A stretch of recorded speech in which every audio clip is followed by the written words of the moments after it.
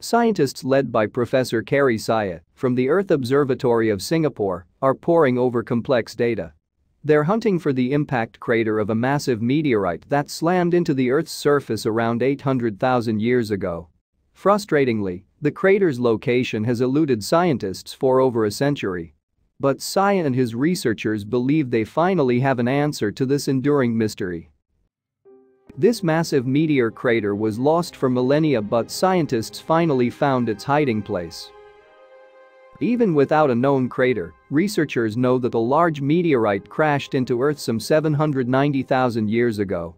And they can say this with confidence because traces left behind by the impact provide concrete evidence.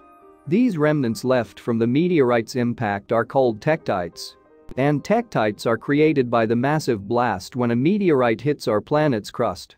For the impact generates temperatures so high that the Earth's own rock can be transformed into molten liquid.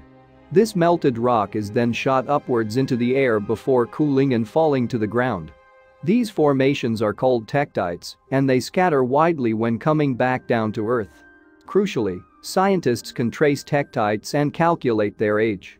The distribution of the tektites can also indicate the likely location of an impact. So, for example, researchers know that a meteorite hit Earth around 790,000 years ago and that its size was more than one mile across. But, until very recently, they have been unable to pin down exactly where this massive rock from space landed. Of course, meteorites and asteroids have been smashing into Earth from outer space for millions of years. In case you don't know, an asteroid is a large lump of rock in space, which orbits the sun. A meteoroid is a smaller rock, also spinning round the sun. But a meteor is a meteoroid that is disintegrated in Earth's atmosphere, also known as a shooting star.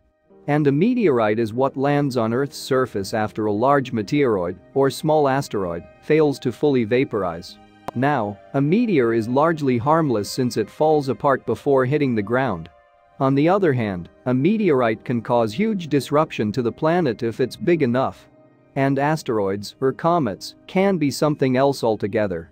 For instance, the asteroid or comet that scientists believe landed 66 million years ago was so violent that it led to the extinction of the dinosaurs, as well as many other animals and plants. That giant rock, estimated to have been anywhere between 6 and 50 miles across, left a crater more than 90 miles wide. And that crater is called Chicxulub and was discovered in the 1970s during an oil exploration operation in Mexico's Yucatan Peninsula. As recently as 2016, analysis confirmed the identity of the crater to the satisfaction of most researchers. But the meteorite that caused our mystery crater was far smaller than the rock that caused the Chicxulub crater, as well as more recent.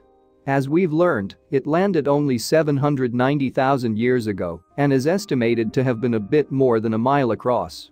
However, even this much smaller rock would have caused devastation in the region where it hit. Indeed, when that meteorite crashed into the ground, it cast tektites across the planet's eastern hemisphere, over the lands of Australasia. In fact, the impact was such that the tektites from the blast were distributed over some 20% of the eastern hemisphere, that's equivalent to around 10% of the Earth's entire surface, a huge area. Anyway, Dr. Sieh and his team described the problem they faced in a paper published in the academic journal Proceedings of the National Academy of Sciences in January 2020. They wrote, a field of black glassy blobs, strewn across about 20% of Earth's eastern hemisphere, resulted from the impact of a large meteorite about 790,000 years ago. And the authors continued, the large crater from which these tektites originated has eluded discovery for over a century, but the distribution of the tektites provided essential clues. As the researchers explained, evidence has long pointed to a location somewhere within Indochina, near the northern limit of the strewn field. So Sieh and his colleagues had limited the area of search for the crater. But that still left an enormous amount of territory to scan a large chunk of Indochina. Those tektites, millions of them, had covered an even wider area, stretching from Antarctica to Southeast Asia and also landing across much of the Pacific and Indian Oceans. So narrowing it down to Indochina was already a worthwhile achievement. Now, this spread of tektites across the planet's surface is known as the Australasian strewn field. And strewn field is the scientific term for the area covered by tektites from a meteorite impact, with this one reportedly being the youngest on the planet. That makes our meteorite the biggest impact on Earth over the last million years or so. So just how often do significant meteorites smash into our planet? In fact, material from outer space is constantly raining down on us, although we are blissfully unaware since no harm is caused. According to NASA, around 100 tons of particles the size of a sand grain and other dust comes into our atmosphere each day. And once a year on average, a rock the size of a car zooms through Earth. But even that is not dangerous since a meteor that size will entirely burn up in the atmosphere. However, Around every 2,000 years, a meteoroid 300 feet across will penetrate the atmosphere, hit the Earth and cause local damage. But as we go up the scale, the impact of a rock regardless of its classification becomes increasingly dramatic. And NASA reckons that once every few million years one large enough to wipe out civilization is likely to hit us. Just think of the fate of the dinosaurs 66 million years ago and recall that our meteorite from 790,000 years ago was probably a little over a mile across. As we've seen, tektites help researchers to identify crater sites. Interestingly, the word comes from the Greek tektos, and it was Austrian geologist Franz Edward Suess that first used the term. In fact, tektites can be confused with glass-like pebbles formed by volcanic action. But careful analysis identifies them by their unique chemical makeup and by their extremely low water content. Although the term tektite was coined relatively recently, people have spotted these strange pebbles for thousands of years. You see, the first recorded instance of them comes from China around 900 BC. One Liu Sun described what were almost certainly tektites calling them inkstones of the thunder gods, according to the University of Texas at Austin website. Speaking to CNN in January 2020 about the tektites from our meteorite, Prof. Sieh said, their existence means that the impacting meteorite was so large and its velocity so fast that it was able to melt the rocks that it hit. However, as we've seen, despite all of the evidence from the tektites, the precise location of the crater has remained elusive. So we know that the tektites from that meteorite impact around 790,000 years ago came pouring down from the sky over a vast area covering thousands of miles. But by analyzing the spread of the tektites, it should be possible to come up with a likely epicenter for the impact. However, in this case the size of the field of tektite landings has made it very difficult to pinpoint. You might have thought that a meteorite more than a mile across would have created a crater that was quite easy to spot with the naked eye, or at least with satellite scanning. And the crater's size had been estimated at a minimum of several miles across, with a depth of hundreds of feet. Now, Aaron Cavosie, a scientist with Curtin University in Perth, Australia, hit the nail on the head in an interview with the New York Times in January 2020. As Cavosie put it, that's a very difficult size hole to make go away. But there are reasons why this crater may be so difficult to find. You see, when a new impact crater is first formed on the Earth's surface, it will be easier to spot. But Earth's surface is not a static body. Over millennia, it can change drastically. For instance, the movement of tectonic plates over the Earth's mantle can drastically reshape entire continents given enough time. Furthermore, volcanoes can substantially remodel the planet's surface as can large earthquakes.